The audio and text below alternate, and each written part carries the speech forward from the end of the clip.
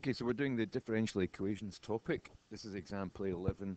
It's a first order differential equation and we're going to use the integrating factor method. If you haven't watched example 10, please do so because it takes you through the kind of theory behind it, where uh, the proof of why we're going to do it. We're, in this example, we're just going to use the, the technique, no explanation as to where the, the different formulas come from. So uh, straight away we can see that what we need with our dy by dx term is it should be a unitary term.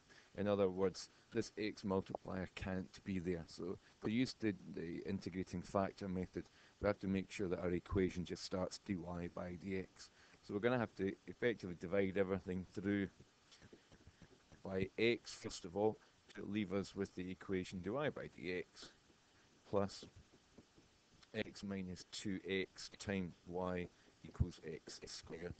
And that means that I've then got unitary dy by dx. I've got this, which is my p of x term, and we've got this, which is my q of x term. So I can write down at the side, p of x is going to be x minus 2 over x, and q of x, which we're going to come back to, is x squared. So the first thing I want to find out is the integrating factor. Mu integrating factor mu of x is given by the expression e to the power of the integral of p of x dx. I explained why we use that.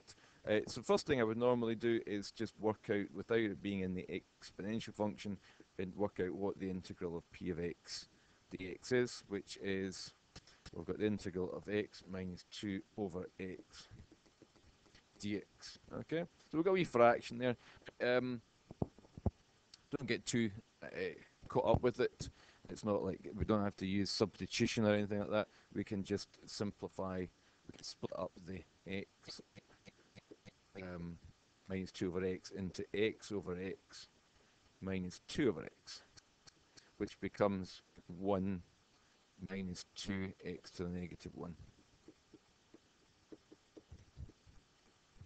Okay? Or 2 over x. So if I integrate that, 1 integrates to x, and then we've got minus 2 times the natural log of x plus c, and that becomes our value of p. Okay, so uh, mu of x, come back to here, it's e to the power of x minus 2 log x. So a wee bit of an issue here in the fact that we've got, um, we don't have an instant way to simplify it here. Uh, what could we do? Uh, well, what we could do is we could take the, we always want to try and take the multiplier to a power anyway because that will help us simplify it. So that we could say that it becomes e to the power x plus the log of x to the negative 2. There's various ways to simplify this, but this is one of them. Um, we can then say that because it's a, a, a, sum of powers, we could then split that up into e to the x multiplied by e to the power log x to negative 2, which becomes e to the x multiplied by x to the negative 2 because the e and the natural log will cancel out. They're the inverses of each other. And so we end up with e to the x over x squared as our value of mu of x. Okay.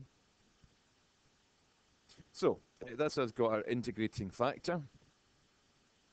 The next thing we can do is actually work out the function itself. Okay, we're going to work out a general solution.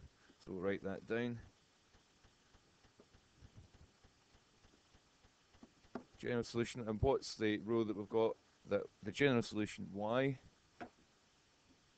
is equal to 1 over mu of x multiplied by the integral of mu of x q of x dx.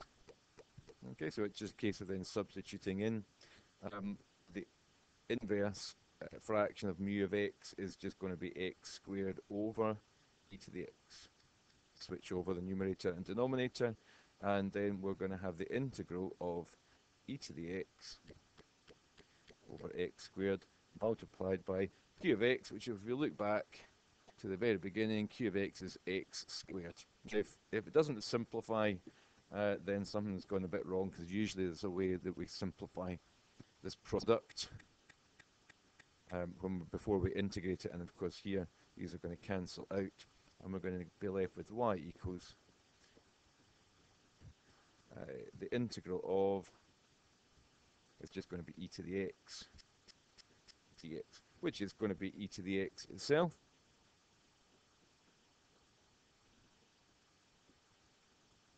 plus c.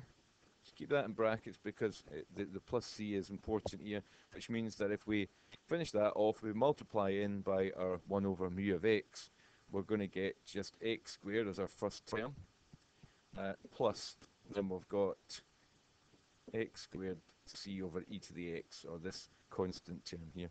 So that's going to be the general solution of my differential equation Okay, so two things that we're doing, we're finding the integrating factor based on our chosen values of p of x and q of x, and then we're using the formula for the general solution to substitute that in, and it all comes from initially realizing that our uh, dy by dx term has to be a unitary term, so we have to multiply or divide through by x. Okay, hope that's been of use. You can go on and try uh, the other examples